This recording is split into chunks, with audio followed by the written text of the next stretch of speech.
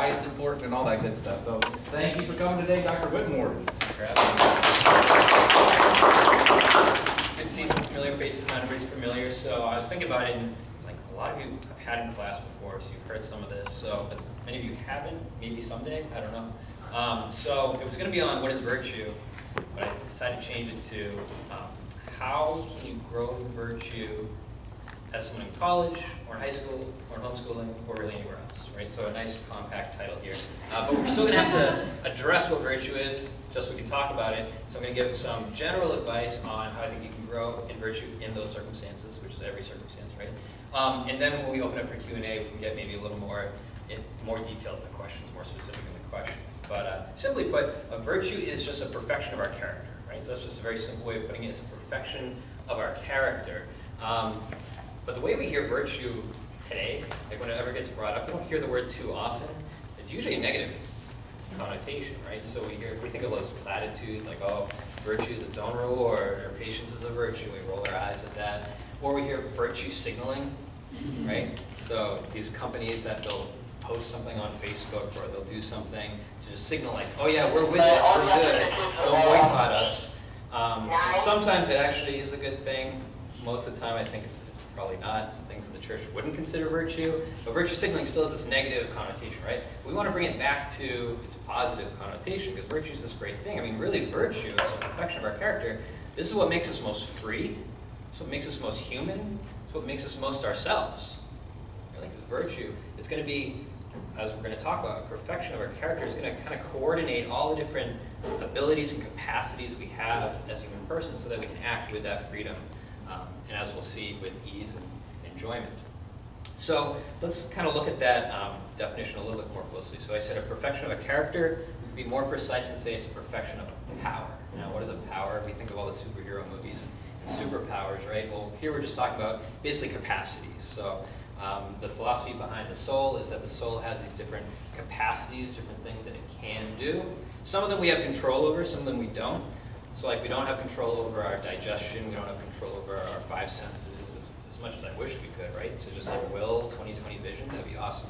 Um, but other ones we do have control over, um, like our thinking. We can choose to think about some things and not think about others. We can choose to stop thinking about something we're thinking about. Uh, so that's our intellect, our will we have the ability to choose in general. Or even our emotions. Sometimes they seem out of our control. We just respond to something in a certain way. But actually, we do have some control over that, right? So if somebody slights me, I can choose to get angry or I can choose to let it go, forgive it. Uh, but then over time, I can actually, those emotional responses that are just automatic, maybe like fear or something, we can train ourselves to make them more reasonable, to kind of redirect them, as it were. So these would be the powers of the soul that we're talking about our intellect, our will, our emotions. Um, and so a virtue is going to be a perfection of one of these powers. It's bringing these powers in accordance with reason, right? In accordance with truth. So we make our what we think about in accord with truth, what we choose in accord with truth, and this makes it good as well. It makes us good. So really, like if you want the textbook theological definition of a virtue, it's a habitual and stable disposition to do the good that makes us possessor. Let's just break that down quickly. Uh, habitual and stable. So again, this is a description of our character. It is our character. And so our character is something that we take with us everywhere we go, right? It is us. It's consistent. So it's not like this one-off good act. Right? So we do some amazing thing. Um, it could have been amazing. It could have been a virtuous act. It doesn't make us virtuous, right? It could have been coincidence. Maybe I didn't even know that it was a good thing. Maybe I actually thought it was a bad thing, and that's why I chose it. Right? We could be that confused. Uh, so it has to be stable and habitual, right? It's something that's regular. It's something that we develop over time. It has to be something good, right? It's not going to be virtuous if it's bad, then it would be vicious. But it also makes us good. So in this process of choosing the good, it's actually going to make us into better people. As I said at the beginning, it makes us freer, it makes us more human, it makes us more ourselves, right? What we were created to be, what we're called to be. This is what happens as we develop virtue. now, unless, uh, unless we're born without original sin, we aren't born with perfect virtue? So all of us, when we're born, we have certain natural dispositions towards some virtues, but also towards some vices.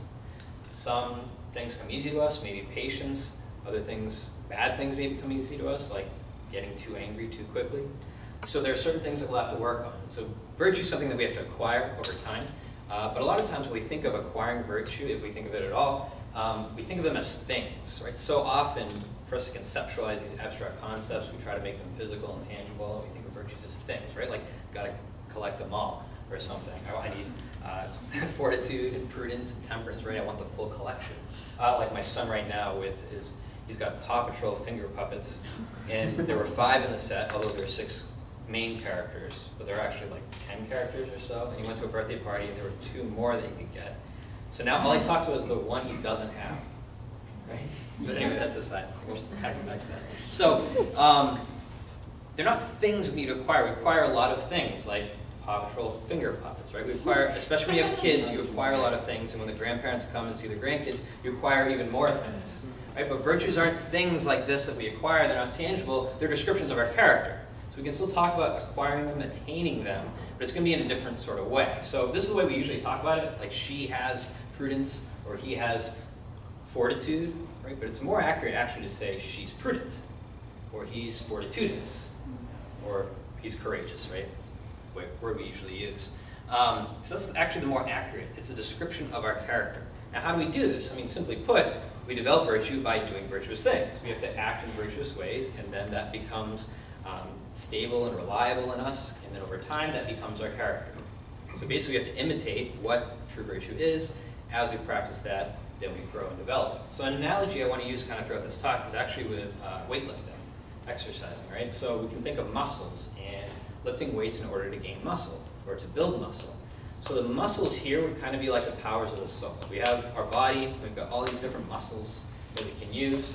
Just like we have the soul, and these different powers or capacities through which we can act. Now, if we want to, and then virtue will be the same as strength here, right, in the analogy. So we uh, build up our muscles so that we're strong. We want to kind of build up the powers of the soul so that they're virtuous. Now, when you're lifting weights, there are many different ways you could do it, right? You could start and say, all right, here we go, one pound weight. You do your 10 reps, you put it down.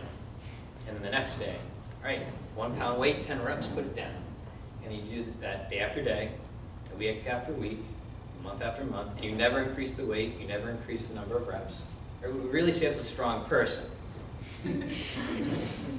right? They're, they're exercising every day, they're lifting weights every day, but they're not strong. Right? So if they wanted to become strong, they're going to have to increase the weight or increase the reps. So they start with one pound maybe. Maybe your natural disposition is you're a little stronger. You start with a three pound weight, right? And then you move up to five the next week. Why you move up to 10. maybe you can even get up to like a 30 pound weight, right, with the curls. And by then you're starting to some, build some biceps, right? You're getting stronger. Um, and so that's good, right? You've now attained stronger muscle, you have greater strength. And if you stay at that level, you'll probably stay at that strength. If you keep increasing, it'll keep increasing. But maybe you say, all right, this is getting a little out of hand. Like, it's taking me so long to do these reps, do these sets. Let's just cut it back. I'll go back to the 10 pound weight because I can get through that a little faster. Well, you can do that, but you're going to become weaker, right? That muscle is going to kind of go back down and you're going to lose some of that strength. So virtue is going to be similar in that regard. It's something that we have to practice and something that has to be maintained. So we'll take the first example, right, the one pound weights. So if I just hold the door for people, right, that's a good thing. It's polite.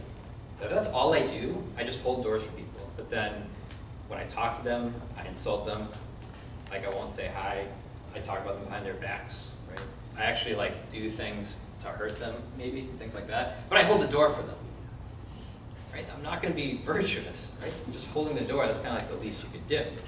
But if I do want to go in virtue, maybe I am this misanthrope, this total curmudgeon, right? I hate people, but I want to be virtuous. I can identify that's a good thing that I should want. Maybe I'll start with holding the doors, right? My natural disposition is kind of the best I can do right now. And hopefully over time, I can say, you know what? I can also say hi. I can also talk to you without insulting you. and then in time, maybe I can even like actively do things for you to help you, right? And I can grow in that virtue, right? So you need to do that, start growing in virtue, start with these small things, Get better and better. Do acts that are of greater virtue and greater virtue, just like you keep getting heavier weights. But let's say you attain virtue. You're a patient person, you're a temperate person, you know, you eat your, your square meals, healthy meals, you get to bed on time, you um, treat other people with respect, you're patient, but then you think, but I can indulge right now, right? Like, I'm patient, but I really still don't like talking to this person, so I'm just gonna cut them off this time. And so you just kind of cut them off, I gotta go, right? The, assuming that you don't have a just reason to do that, okay, I know there are different circumstances. But let's just say you do that, right? And then you're like, hey, I felt good, right? I got out of that one. So next time, next time you're talking with them, you cut them off again, maybe even a little sooner, right? So now you're starting to do less good things, right? So it might be good, you're still talking to them, but now it's less. It's not as virtuous as it was before. Same thing, if you start going down with the weights, right? Lighter weights, you're gonna lose that muscle, you're gonna lose that strength. Same thing here, once you start to do things that are less virtuous, you're gonna lose that virtue. It's something that needs to be maintained. And it might start to develop into a vice, which is gonna be this imperfection of power, right? It's going to kind of determine us in this habit of doing bad things, things that are against goodness or against truth that make us bad. All right, so we've got this analogy with um, weights and muscles, right? Let's say a little bit more before we get into some advice here. Let me just look my note real quick. Oh yeah, okay, so when we talk about increase in virtue, what are we talking about? Like what's increasing here? Because we already said it's not a thing, it's a description of our character. So the technical term for it is, in order to grow in virtue, you must act beyond the intensity of your virtue. All right, so what does that mean? Well, don't think of it in a quantity, like as a quantity, think of it as a quality. Right? So it's a description. You have to act beyond the intensity of your virtue. So the intensity is pretty much the rational mode. So here I am like, what's intensity mean? Rational mode. What does rational mode mean? Right? I'm just replacing it with other confusing terms. But let me try to get to what I'm actually uh, meaning here. So you have to act beyond the intensity of your virtue in order to grow that virtue. The intensity is the rational mode. So earlier I said that a virtue is something that's in accordance with truth, right? So our knowledge, our prudence is going to help dictate what is virtuous. Um, so another way of putting it is a virtue is a way of acting reasonably, and a vice is a way of acting unreasonably. There are different ways that we can act unreasonably. Right? Reasonably means to do the right thing at the right time, the right way, to the right people, to the right degree, right? All these different things. But we can err and be unreasonable in different ways, um, according to different aspects. Usually we call them by deficiency or excess. Right? So for example, uh, the virtue of courage, this is the virtue that moderates our emotions of uh, fear and daring. So basically, the person with courage is the person who fears the right things and is daring about the right things and has the right amount of fear about the things that should be feared. But a coward is somebody who has too much fear and not enough daring. And somebody who's foolhardy is a person who has too much daring and not enough fear. Right? So they're unreasonable in that way. They might get lucky, the foolhardy person. A lot of times we're like, oh, what a hero, you dove into the burning building or you dove into the pool of sharks and saved the person. It was great that it worked out. But if you're not trained in fire safety, if you're not trained in shark wrangling, right, it probably wasn't a prudent thing to do. Right, so you just got lucky. You didn't have enough fear. You had too much daring in that regard. Okay, so we even see this, um, so we've got these excesses of, uh, or extremes of excess and deficiency, these ways of being unreasonable. And so virtue is trying to make it so that what we do is reasonable. The analogy, I think, carries over with the weight training here. So you could have a deficiency, right? You don't use muscles at all and they start to atrophy, right? So that you can't really use them anymore. But even excess, right? You can just like keep, like you ever seen those people? I don't, I could do this. I don't think I look any bigger actually, but pretend I'm really buff right now. So the point where like I don't have a neck anymore. my shoulders are above my ears. and I can't actually close my hand because my finger muscles are so large. I've heard that this, I don't know if it's true, I've heard that this is how football players, like they can't pick up a pencil anymore because they, they like, the muscles get in the way and they can't close their hand. I don't know, I've heard it. People can't scratch their ears because the bicep is too big. so- oh, that would be so frustrating. So, this would kind of be analogously, right, a deficiency and an excess. Um, right, and, and that's going to impede other things. So we can see how there's, I don't know, maybe maybe somebody's a biologist here that could tell me, are all of the muscles connected to each other? I know that like some are connected to each other. So for instance, I didn't think so. So for instance, if you don't have strong abs, you can get back pain, right? So it might be good to build abs so that you don't have that back pain. But some of the muscles are connected, and And so if you're weak in one, it could actually hurt the others. Um, and then if you're excessive in some, like your fingers, right, then you can't scratch your ear and you can't pick up pencils, so that's going to be problematic as well. Well, virtue, because it's a description of our character, the virtues are going to be connected as well. And in fact, virtue really is wholeness, right? It's being integrated. Vice is disintegration. It's dis, you know, it disintegrates us. It uh, kind of makes us a slave to our, our passions that are unreasonable and different things like that. We don't have control a lot of the times of the way we act.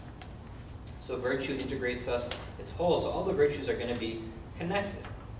Um, so it's easy to show kind of the negative side of that, but I'll come back to the positive side when I give the advice in just a little bit. But the negative side to that is, um, so for example, if I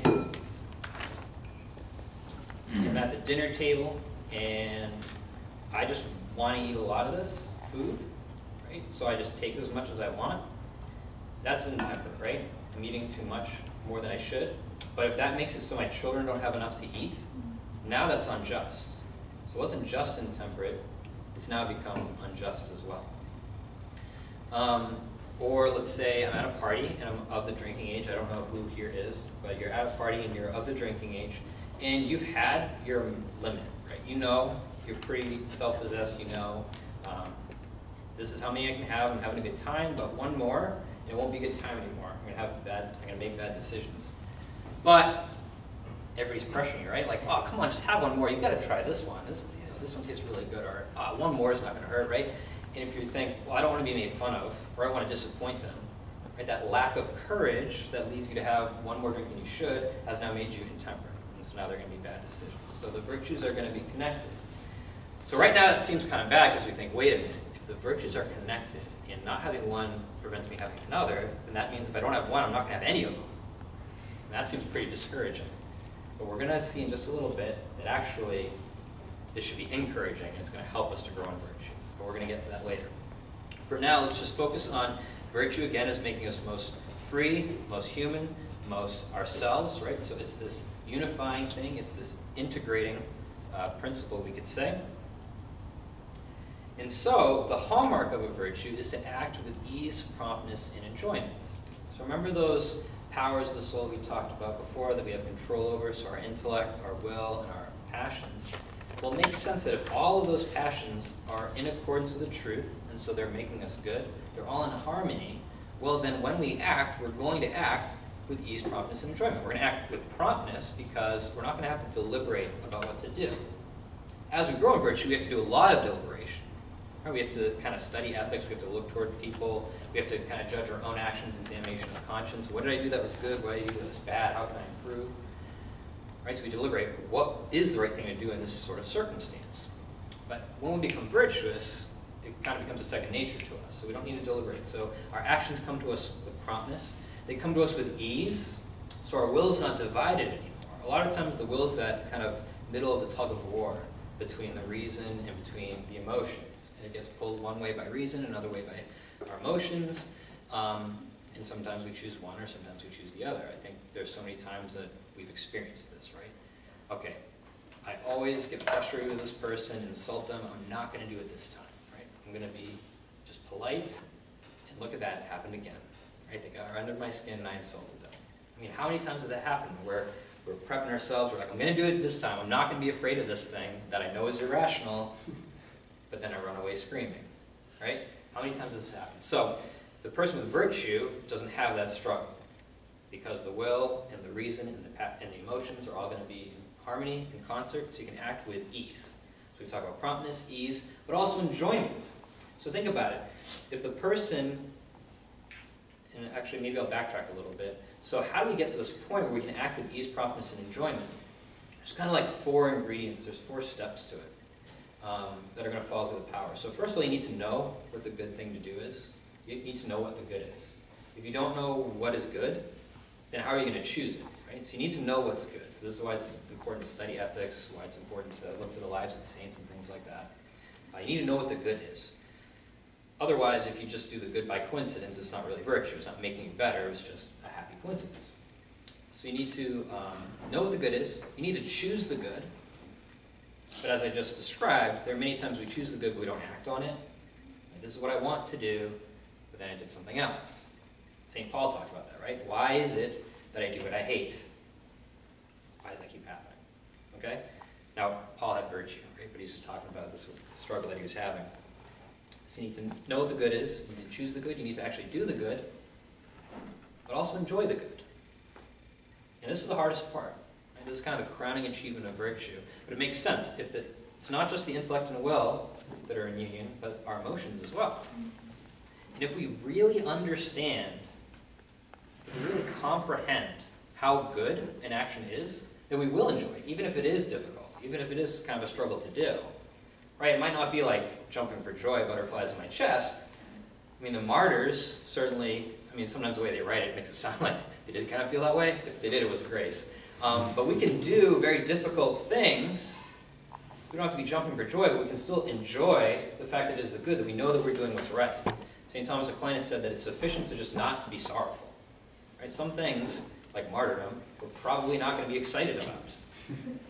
But as long as we can rest in, you know, this is the good, this is what I want to be doing, standing up for my faith, right, then it's still a virtuous act. It's a virtuous act. So, ease, promptness, and enjoyment, right? There's going to be an enjoyment of doing the good as well. All right. So that, that hopefully that's a good kind of recap on what virtue is, kind of the main point saying it's a perfection of our character, which is to say it's a perfection of our capacities to choose different activities.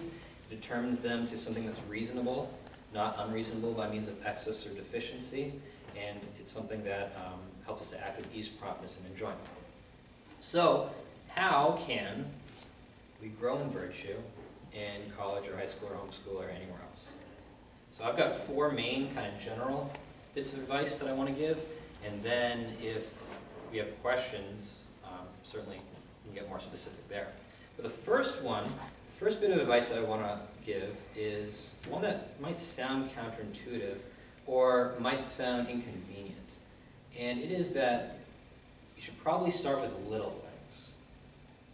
Now, I think our impulse is, well, I want to be good. I'm sick of sinning. I'm sick of like my failings. I just want to be virtuous now. So let me go out and do these big things. That's our impulse, right? But I'm going to tell you, sometimes that works. Right? Sometimes you're inspired, and that, and that can work. But most of the time, we go out and we try to do these big things, and they don't go as well as we want them to. Right? Maybe we're successful, maybe it's a mitigated success, maybe we're not, it's an epic fail. Right? Maybe it doesn't work at all. And so we can get discouraged pretty easily. If we go out and try to do those big acts of virtue before we really have virtue, high chance that we're going to get disappointed. Um, also, those big acts don't come that often.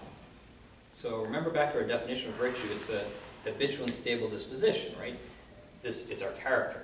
It's something that has to be built, and so there needs to be the repetition of these sort of acts. Sorry.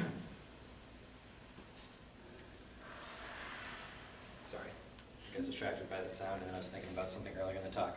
Okay, we need to, um, what was I just talking about? Totally lost my mind. Start with little Starting things. Yeah, little things, thank you. Okay, so we're going to start with these little things. If we start with the big things, um, it's easy for us to get discouraged. Now, if we start with little things, immediately we're going to start to grow in virtue. Because remember, our automatic reaction was, well, I want to be virtuous now. Is that impatience?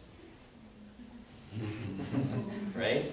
We got to remember that things are happening in God's time, not our time. If they're happening in our time, yeah, we would be virtuous now, but it's not possible. A lot of times we need these repetition acts, right? So immediately, if you start with the little things, patience and humility you're practicing because you admit your weaknesses, you acknowledge the fact that this is going to take time, and it might even take our whole lives. Right? That's not to say that you're not going to keep growing in virtue. It's not an all or nothing thing. Right? You can grow in virtue, but to really get to where you want to be could take our whole lives. I mean, the pagan philosophers, they would say that the virtuous people, you, you had to be an elderly person. That they're the only people that could have prudence, because prudence takes experience, and you don't have experience until you've lived life. And so only the elderly people even have a chance of being virtuous. Now, that's not going to be the case for us with grace, but I'm going to come back to that at the end of the talk. Okay, so start with these little things. Now, it's going to help us to grow right off the bat in humility, in patience, also perseverance. Because as I said, these big heroic acts of virtue don't come that often. The little acts, they're all over the place. We encounter them thousands of times a day. So there's constantly little things that we can do to grow in virtue. So this is going to help with perseverance, right? We need to develop that habit, that stable disposition. So we're going to have a lot of times, because we're going to fail a lot of times, but hopefully we're going to succeed a lot of times too. And so since there are so many different opportunities to practice these virtues, even if we fail, we can say, all right, I messed up that one, I'll get the next one. That one again. So now this one, right? But we can keep trying. We have a lot of different opportunities to grow in those virtues. But also, just because I'm saying start with small things, doesn't mean they're not intense things. Remember I said to grow in a virtue, it's growing in this intensity. And the intensity is the rational mean or the rational mode, which is how reasonable a thing is. And you have to surpass the intensity of your virtue in order to continue to grow in virtue. You can do little things with great intensity. This is what St. Therese teaches us, right? Doctor of the Church, the little way, to do little things with great love. Right? Even the smallest thing that we can do, if we do it with great love, that's going to have a great intensity to it. That's going to help us progress in virtue faster than if we did some great thing with a little love. Right? If we did this great heroic action, it was with a little love, it builds virtue not as quickly as if we did small things with great love. Aquinas, Thomas, St. Thomas Aquinas will say that charity, love, is the form of the virtues. It's going to give direction to all of the virtues. It's going to kind of reshape them and orient them toward our supernatural destiny. Right? So love is going to be this key component. Even if we do little things with great love, we'll have a greater foundation to then do those more heroic acts. Right? So that we won't get discouraged, right? We can keep building up. It's a stronger foundation, and it's a greater intensity within those virtues. So we look to St. Therese, Doctor of the Church, for help in that regard. So that's the first bit of advice. Start with these little things. Not to say you can't do big things, right? But this is going to be a good starting point. Now the second bit of advice I would say is to strategize. So this is going to come back to that notion about the connectivity of the virtues that I mentioned earlier. To strategize, okay? I think it was Socrates who said, know thyself, right? I said how none of us is born with perfect virtue. We have to develop it. But all of us is born with a certain natural temperament. Some things come easy to us, some things are more difficult for us. For some, I've met people like they don't they don't get like mad unless it's something really extreme. Um, I'm kind of the opposite, right? I can get annoyed really easily over things that I shouldn't. Um, so we know our strengths and weaknesses. Okay, so kind of you do an examination of conscience. What virtues am I inclined toward? What vices am I inclined toward? And then our first impulse is probably, okay, let's identify the vices, find the opposite virtue, and work on them. We could do that. That's helpful. Um, but again, if that's the vice that we're struggling with, then we're already struggling in that virtue. So to just try to do that virtue, just, like I'm just going to will this virtue, it's going to be very difficult to do. Sometimes it works, but a lot of times it doesn't. We're trying the same thing over and over and over again. How many times have, well, I won't ask for a show of hands, but if you've had the experience of going to confession, time after time after time, confessing the same things, all right, now that can be good because we're getting the grace to help us to grow in it, but also it could be because we're also trying the same way over and over again and it's not working. So let's strategize. Let's use that connectivity of the virtues to our advantage. So before we looked at kind of the negative side. If I don't have this virtue, then I don't have that virtue. But if that's the case, okay, the virtues are connected, and some of them I am inclined toward, or I am naturally strong in, and if they're all connected, then increasing one virtue is going to increase all of the virtues. So if I actually start by increasing the ones I'm already pretty good at, that is going to drag the other ones along with it. And then maybe get to a point where I am more successful in striving for that opposite virtue from those vices. Um, the analogy that St. Thomas Aquinas uses is a hand, and how a hand and its fingers grow. He says it's not the case that like you get the palm, and then like one finger grows, and then your body's like, that was pretty good. Let's do it again. Mm-hmm. And like the second one grows. And then, you know, the third and the fourth. But they all grow together. And they're all grow in proportion. It's not like, okay, the middle finger grows and the pointer finger is like, mine's still not the same height, but it's still growing. Like eventually it'll get there. That's not the way it works. Like, unless there's some genetic anomaly, right? The middle finger is going to be the longest finger, the pinky's going to be the shortest, the thumb's going to be hanging out there on the side, all opposable and stuff. Um, but they're going to grow in proportion. The virtues also grow in proportion. Right? So as much, and again, this is one of those things that kind of annoys us. maybe, maybe not you, maybe me, a little OCD or something.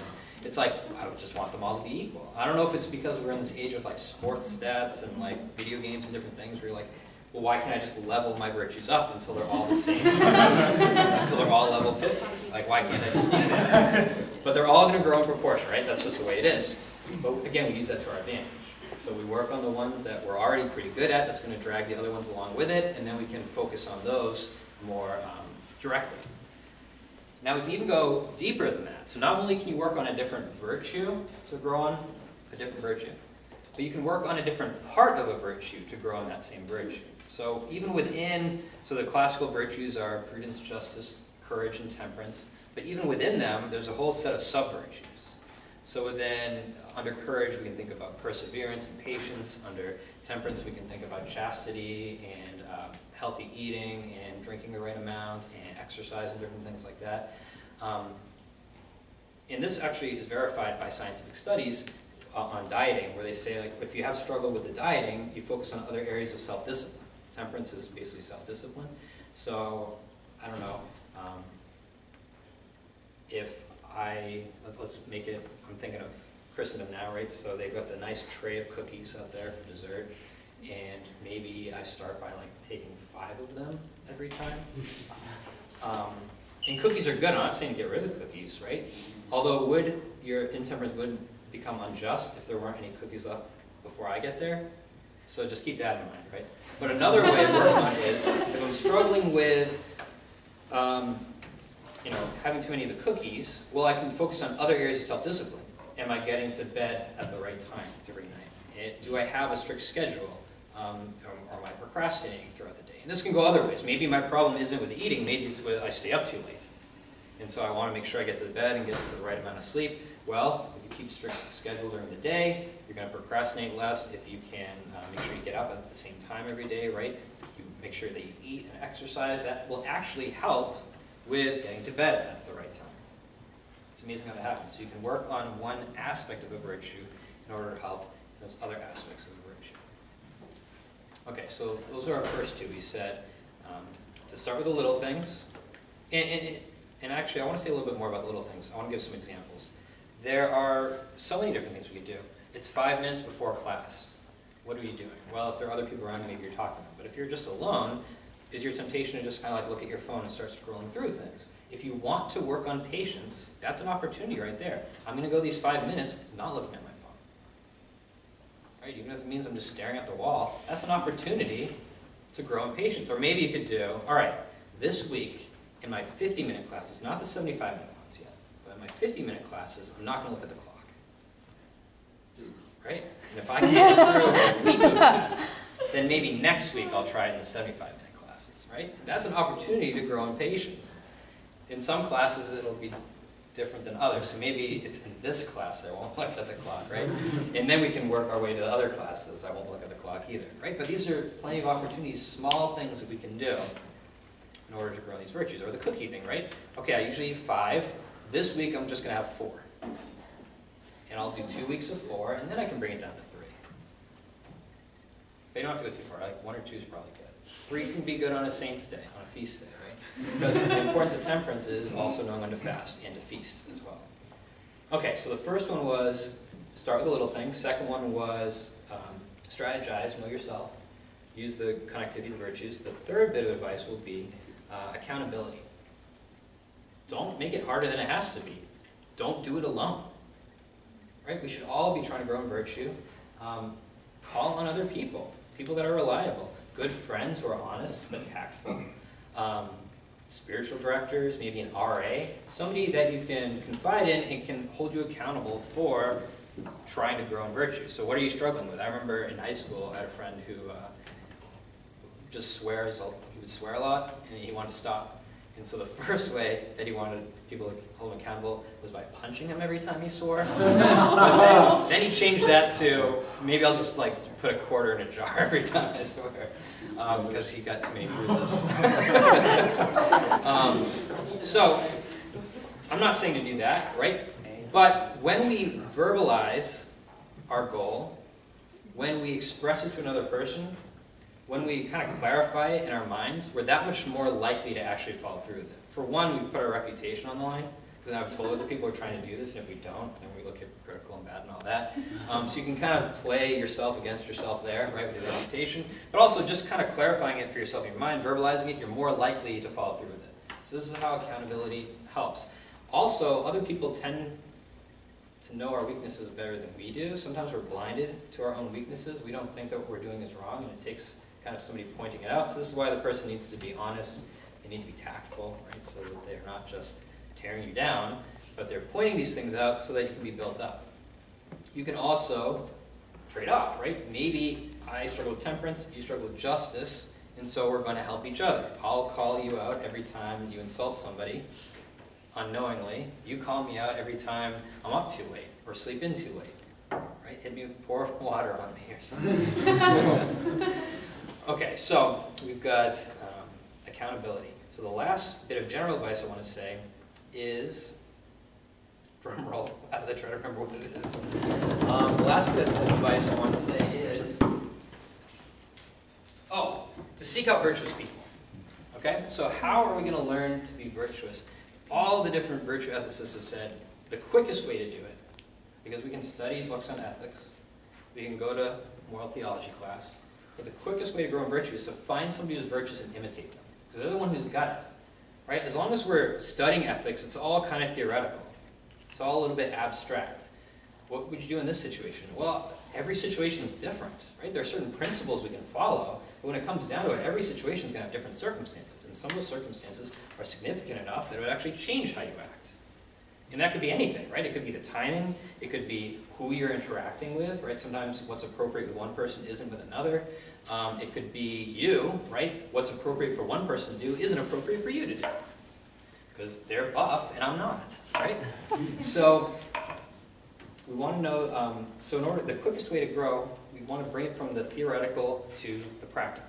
And so to find somebody who's virtuous and to imitate what they do, they're the person who ha does have the experience they do know how to act in different circumstances, and so you imitate them. Now, the problem we have today is, how many virtuous people are there out there?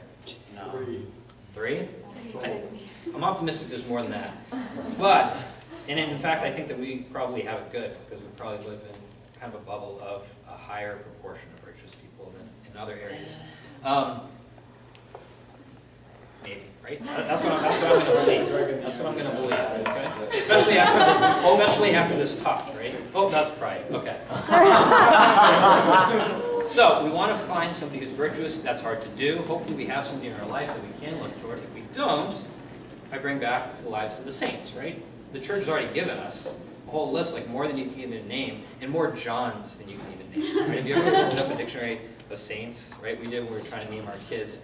Our son is named John. But there are like, wow, there's a lot of Johns out there who are saints. Anyway, being named John doesn't make you a saint. but there are many different saints we can turn toward in order to imitate them. And of course, even beyond that, we have our Blessed Mother and we have Jesus. Right? Jesus is the wisdom of God. He is virtue incarnate. So sometimes we can think like, yeah, but the saints are a little bit closer to us, or even sometimes the saints seem further away. But Christ is going to be more, like, he's going to be closer to us than anybody else can be. We come into direct contact with Christ in each of the sacraments. When we receive the sacraments, we're in the state of grace, the Holy Spirit comes to dwell within us. The Holy Spirit is the one who reveals the Son to us. Right, so if we want to grow in virtue, we turn to virtue incarnate, but so sometimes we feel like we're so far away from that, the Holy Spirit is the one who reveals the Son to us. And so we've already got the wise person dwelling within us, right? Before I said how the classical philosopher said, you need to seek out the elderly wise person, because they're the only people who could be wise. That wise person is already dwelling within you if you're in the state of grace. The Holy Spirit's within you, guiding you, right? So that you can act with the wisdom of God. So the acts that you do can be in cooperation with virtue incarnate, with the wisdom of God. And so this is why the church says you don't have to wait. For some of us, it will take that long, maybe.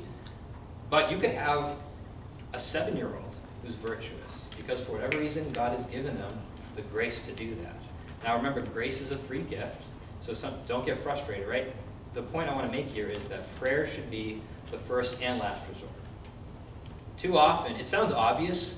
If you want to grow virtue, pray for it. It sounds obvious, But how often do we forget it? I know in my life, I so often tend toward Pelagianism. It's like, well, let me get to this point and then I'll ask God. But I never make it to that point, right? Because I need God's help, right? So you start by asking for God's help. The angels agree. You start uh, by asking for God's help, um, and you also end by asking for His help as well to grow in this virtue. Now, again, you could be praying day after day after day, make me courageous, make me prudent, make me just. And it just doesn't seem to be happening. Two things I want to say to that. One, and this goes back to maybe even the start of the small things. This isn't for everybody. Personally, I don't like doing it, but I know my wife does, and I see the value in it. Journaling. If you kind of keep a record, you know, journaling about your progress and your efforts. In those days when you do get frustrated, and you will get frustrated, you will get discouraged, because believe me, if you're trying to grow in virtue, the devil wants to stop that.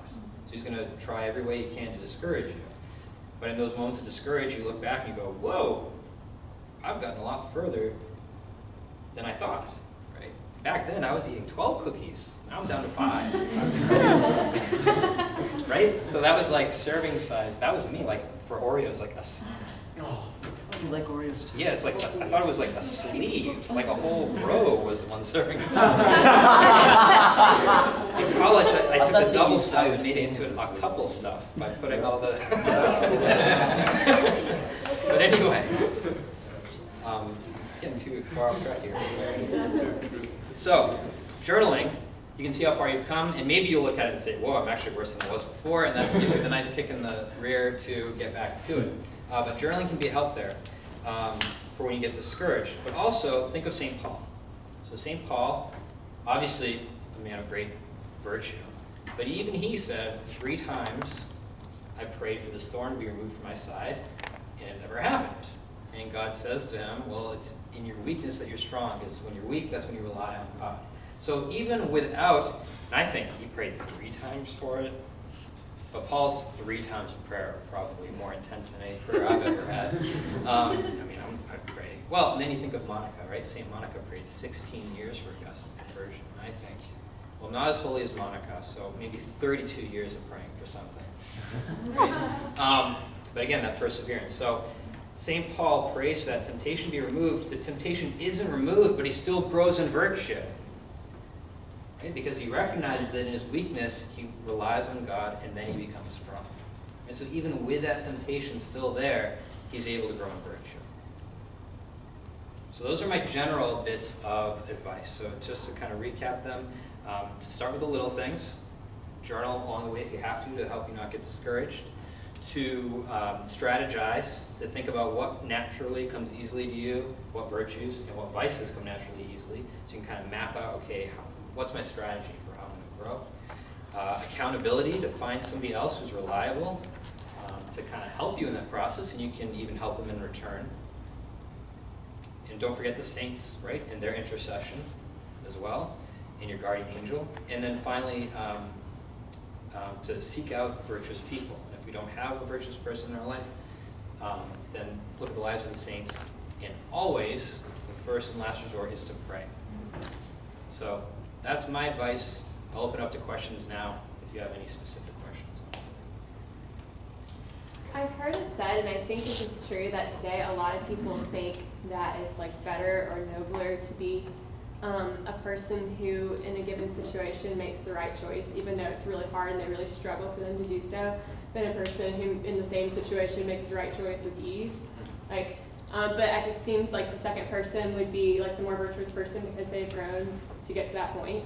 Yeah. So, like, why, why do you, why would you think that people think this? Good. Yeah, that's a great question. And I think that also goes hand in hand with, um, so I'll, I'll address both. I'll address your question. Also, altruism. Sometimes people think it's better to do something without enjoying it than to do something with enjoyment, right? A good thing. So, I, I mean, fundamentally, I think it's because we're just very confused in our society about what virtue is and, that sort of thing. Even Aristotle said, so if a virtue is kind of that rational mode between two extremes, anybody who lives by one of the extremes thinks the mean or the virtue is an extreme. Like we tend to think that whatever we do is, is virtuous. Now, to speak to your question specifically, it seems like when somebody overcomes this great struggle, that that's more virtuous than somebody who does something easily. I think the reason for that is, again, we kind of, we can't see the interior of a person. We can see somebody struggle. We can see them overcoming it. We can see their um, heroic effort in overcoming that. When somebody just does something good with ease, we haven't seen any of that. And so I think it's just kind of our outsider's perspective. There we can see somebody overcoming a struggle and doing something good, whereas otherwise we can't. So I think that that's something to do with it. Um, some of it might even be suspicion of virtue itself, like uh, suspicion that either people can really be virtuous. So if it looks like you're not struggling, you're probably not trying hard enough, or maybe you're just disguising, you're hiding your struggle or something like that. So I think sometimes there's a suspicion of virtue. Um, as far as the altruism thing, it's better, and it, this I think goes all the way back to Kant. I guess you could even go all the way back to the Stoics in classical. They would say we need to get rid of our emotions, and true virtue is to not be disturbed by emotions at all. And I would respond with that, that's just not human, right? That's just not possible. We're always going to have an emotional response to something. That would be like removing a power of the soul, right? You can, the powers can be impeded sometimes, right? We're not able to, to use them. Um, for instance, like if we're in a coma or something. But they're always there, right? You can't remove them entirely. And so to say that it's better to not, right, it's only virtuous if you do something with no, it's just not scriptural. Right? Even the Beatitudes in Matthew's Gospel. Blessed are those who are poor in spirit, for theirs is the kingdom of God. Blessed are those who are mourned, for they will be consoled. Blessed are those who are meek, for they will inherit the land. Right? There's a reward associated with it. Now, then it's not right to think about it as I do this to get the reward, but the reward is constitutive of the activity. Right? Insofar as you act by virtue, you find it enjoyable. Right? It's not something that you can avoid. If you don't want to enjoy it, then you don't become virtuous. Right? It's just, they come hand in hand. So I don't know, did I answer your question? Okay, thanks. Any other questions? Um, I'm not really sure if this is a virtue, but the people that like are easily taken advantage of, if they do like a lot of good for others, like where do you draw the line at where something is virtue and where something is honestly like Push over. like, bad for you? Yes, so that, that's, there's no easy answer to that, right? That's going to take prudence now, but I'm glad that you raised that. So there are a lot of false virtues. There are a lot of things that look like virtue, but they're actually a vice. Now, in our heads, we might now think like virtue, good, vice, sin. Think of it more as vice imperfection, right? Sometimes vices are sinful, sometimes they're not, right? So if I, like if a spider, I use this example, so I'm sorry, but if a spider came in right now, and I'm like viciously cowardice of spiders and just run, right? I, just leave right now. Like the spider comes in, I leave, I don't finish the talk, right? That's not necessarily sinful unless we think maybe it was an unjust, an injustice to all of you, right? It could become sinful. But if I'm just like alone by myself and I get scared by a spider, right? That's an imperfection, but it's not yet a sin. Okay. So there can be false virtues as well, where it looks like, now what's the term humble bragging? Have you heard that before, humble bragging? Or I guess it's like the false humility, right? So we all know pride. Pride's pretty easy to identify in narcissism and things like that. And we think, well, then humility must be the opposite. So humility must be like, oh, you did a great job. No, I didn't. No, I didn't. No, I didn't. That's actually false humility. That's actually a different sort of pride, right? Humility is knowing your place. And so somebody congratulates you. If you did a good job, then you say, thank you. Right? Praise God. You helped me to do it. But a lot of times that false humility, no, I didn't do so well, that um, it's actually like you're kind of like fishing for compliments. So it's a different sort of pride. So I'm still getting to Lucy's question here.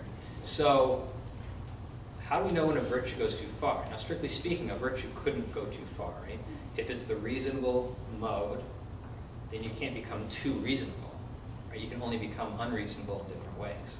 And so there's not going to, in that sense, there's not going to be like, can't be too virtuous. But it can start to become unreasonable, right? So maybe you um, are just a nice person. You get along with people well, but then people start taking advantage of you. Right? That just goes to show, and I think going back to our advice of knowing yourself and strategizing, if you know that about yourself, right? People start to take advantage of me because I'm being nice. Well, that means you're inclined toward that virtue of kindness, but maybe you're also inclined toward maybe a fear of confrontation or something like that, right? Um, because sometimes we're finite creatures, right? We can, there are so many goods in the world, we can only choose so many of them. Sometimes we have to forego one good in order to choose another, even if that means in a conversation, right? Most of the time I'm nice, but sometimes I have to say, I can't help you with this because I need to do this other thing, which is more pressing or a bigger responsibility, right? So part of that is to know yourself and just know, okay, and, and this is where accountability helps because a lot of times people can help us with that. Now there is a slight difference between, for instance, like you'll see the saints where people insult them and they won't do anything about it, but they insult somebody else and now they step up and defend the person, right? So that's another aspect to it where there's some kind of leeway with some of the saints kind of did let people walk all, all over them, but they didn't let people walk over others. And so maybe what you need to focus on is not so much am I letting people walk over me, but am I letting them walk over other people? And that might be where the deficiency is. So did, did that help? Other questions? It's like, I've heard that uh, mortification and like fasting and that sort of stuff is good for building virtue. Are there anything, is there anything else like prayer, uh, fasting, all that sort of stuff? Are there any like other tried and true just helps you usually? Yeah, so certainly fasting. So the difficulty with growing virtue so often, if we want to bring our reason, our will, and our emotions all into union, um, for whatever reason, because of the fall, it's the emotions that seem to kind of run haywire. And so fasting as this type of temperance, really, this exercise of temperance, temperance and courage help to moderate our emotions, to make them reasonable. That's why fasting tends to help so much. If we kind of starve some of our emotions, then we're able to see clearly what the good is, and then we can kind of rehabilitate the emotions so that they're reasonable. So you asked, are there any other tried and true ways? So fasting is always uh, a good one. Of course, I said start and end with prayer. Even fasting should do that. And fasting, that's also something to take up with a spiritual director, because even that we can go too far right? We can become unreasonable in our fasting. If I am trying to fast, but that makes me a jerk to other people because I get headaches all the time and I'm mad at other people, then it's not helping us grow in virtue. Right? So we need to know the right circumstances when to fast as well. Um, so yes, fasting, prayer. I, again, in, in terms of tried and true, I think those are, are, are the big ones. And then it's just the other sort of general advice that I've given. If I think of any.